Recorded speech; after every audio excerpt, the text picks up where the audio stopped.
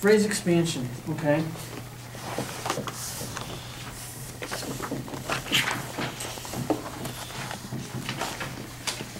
How about prototype? You get that? Prototype full phrase. What's he talking about? Like the basic phrase without any expanded elements. Good, basic phrase.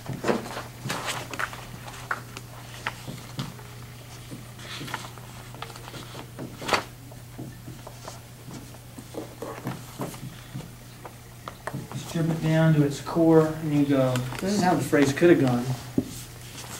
How can I test? If I'm, if I'm, if I'm saying, hey, look, this is, this is the basic phrase. If I'm asserting that as an analyst, how can I make that believable? How can I back that up? If you find the actual cadence, cadential, the actual cadence point, take out whatever is expanding it, and then make whatever came before it link to it, you know, like voice leading wise. Mm-hmm. Good. Voice leading connections, once you've dropped the extra, so we can test it out, if we're testing out an interpretation, um, we can omit expansion. And once we do it, we can see that the voice leading still works. I'll just use VL for that. Voice leading still works. It makes sense. Good, yeah.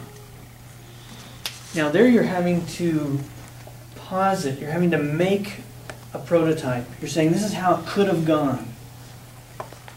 You know about prototypes, right? If you've got a car, you got a new car you want to make, it's really cool, it's got fins on there. you, got, you got a big solar panel on top, big collection thing. I mean, you got this new fangled idea. You got this turbine engine, you know, I don't know some some crazy space age thing. You make a prototype and you say, "This is what it's going to look like if you're willing to shell out the two million dollars that you need to buy this thing." they just had a big car show up where was it, Detroit? I forget. And the and they show all these prototypes. Now you can't go and buy one yet, but they're hoping that they can incorporate some of those ideas into a new car. So they're putting an idea on display. It doesn't really exist, but they hope to. That's what a prototype is here too, in a sense. You're saying here's how it could be in this ideal world where things are all neat and tidy and and in, its, in their place. You know, if you get rid of all the extravagant under underbrush that's growing all over, you'll see that we really have some really nice you know trees here in my in this garden. We just got to clear the landscape a little bit, and we'll we'll see the basic phrase. We'll see the the essentials.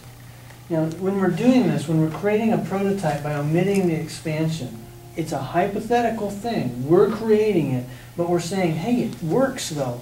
See, the voice leading would work if we just omit all this stuff, basically. You know, maybe there are a few loose ends, but it makes it believable when you can show that when in one, in the prototype, once you've omitted all that stuff, that it makes good sense. Harmonic progression still works. Voice leading still works. Everything works. That's one way to test it out or to prove it as a, as a potential prototype. Remember middle ground prototypes? You say, okay, you strip this down in a Schenkerian way, and voila, you get my prototype. That's another way too. So middle ground prototypes, you're using Schenkerian analysis to say, see, the essentials at the middle ground are all there if we just drop these bars that add this stuff. Remember uh, Wasserflut? Yeah. If we just got rid of what were they, measures 11 and 12 or something, we could just chop that out of there and we have a nice prototype. Because remember, it was four bars plus six bars. And we could have had four plus four if we just got, gotten rid of the motion to five and then five going to the, the five of, it was five, six, five of four, and then seven diminished seven to four. Remember those two bars? If we mhm. just got rid of that, we would have gone one to four to five to one, and it would have been a very nice, clean shot at, at closure. It would have worked wonderfully. And it would have been four plus four. It would have been very clean cut. That makes it rather believable if you can show that. You omit the hmm. extra and show it is extra because I don't need it for this thing to still make sense. And our middle grounds could demonstrate that. You could use the middle ground and say, all the stuff that's inner voice covering uh, getting in the way of how the main voice really needed to run. It's delaying the descent. So see, we can get rid of it at the middle ground. That's a middle ground prototype.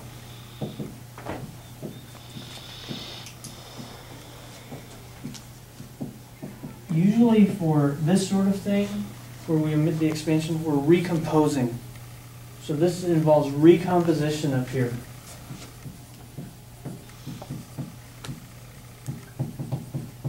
You omit the stuff, maybe you have to move some register, notes from one register to another, but, but you're being, you're being a composer and saying, here's how it could have gone. And you write out the phrase without all the extras. This says, hey, look at my middle ground. So this is, uh, you doing a Schenkerian analysis here.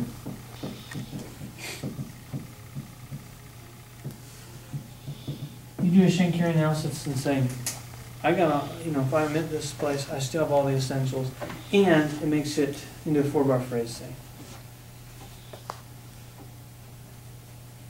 Best yet was better than both of these. There's another kind of prototype that's even better. A literal prototype. What's he mean by that? Oh, you're talking about like comparing it to a phrase that came before it, like if it's a repetition and then they add more to it. You say, hey, I don't have to create it. I don't have to do a Schenkerian analysis. All I gotta do is point you to measures one through four, and there it is. That's how it could have been right there. A literal prototype means you just, you finger it. You go, hey, right here, that's how it could have gone, and he did it that way, but now he's taking that same pattern and he's elaborating on it. That is the most believable. That's the most convincing of all of them because there's no rigging or anything. It's there. No arguing about it. It exists. The prototype is in the score. Okay, so you've got a basic phrase. All the added elements is the expansion. So you have expansion and you have basic phrase. So the basic phrase is the phrase without expansion. You discarded all that stuff. Okay, so now let's talk about different kinds of expansion that you can have. Any questions on this before we go on to ways of expanding?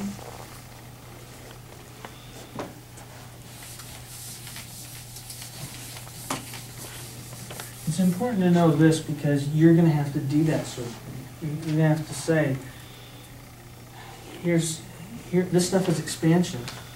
And the way you can demonstrate that it's really unessential is you show what the basic phrase would be in one of these three different ways.